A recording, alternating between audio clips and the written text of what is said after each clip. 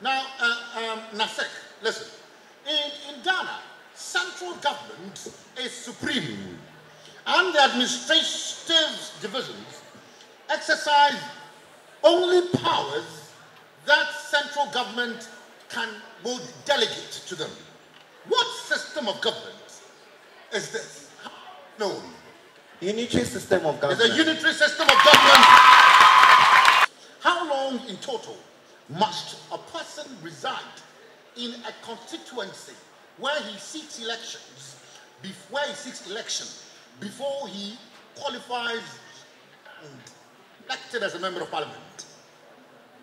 How many years? Within 10 immediately preceding elections, how long in total must a person reside in a constituency, constituency to gain eligibility, you know, to stand for elections as a member of parliament?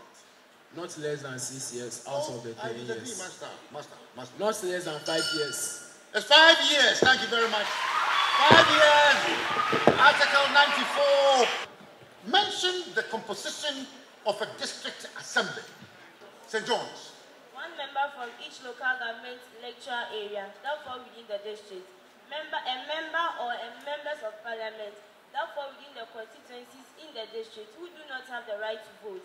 A district chief executive, and not less than to 10 to 30 percent of members in, of the district assembly, I think, I think this, uh, that, appointed by the president.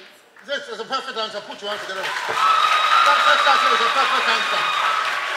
Thank you.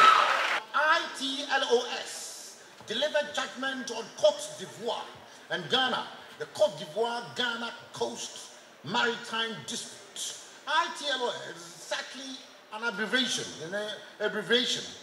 It's an acronym. What is it? Amasaman. International Tribunal for the Law of the Sea. I think that is righteousness here. Put your hands together for him. International Tribunal for the Law of the Sea.